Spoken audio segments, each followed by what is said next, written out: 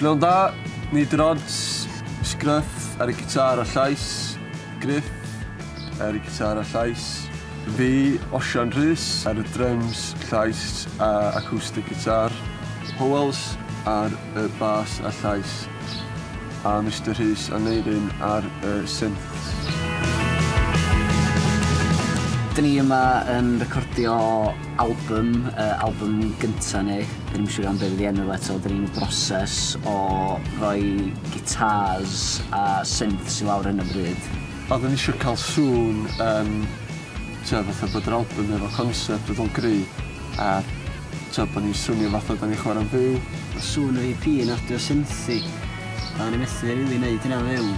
Ond, uh, dwi'n meddwl bod o'n gweithio fel EP, ond ar gyfer album mae angen y beth da ni'n gallu gwneud yn rhywbryd.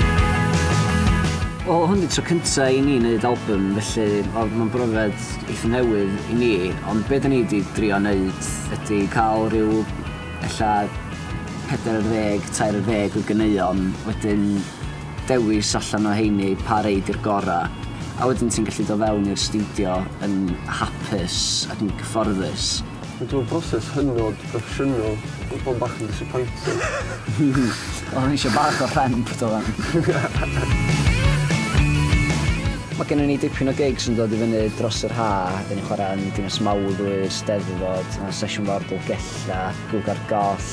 Dwi'n yn gwybod os fydd yna daith anfarth achos mae pawb yn gweithio, mae'n ma eitha anodd, ond fydd yna sicr gyfres o, o gigs i fynd efo rhyddhau'r alcohol. Ie, fe na ddeg can ar yr album gobeithio, sy'n ni wedi fedru gorffan i gyd.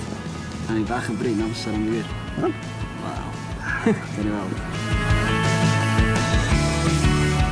Dwi'n meddwl bod yr album yn allan uh, erbyn mis Medi.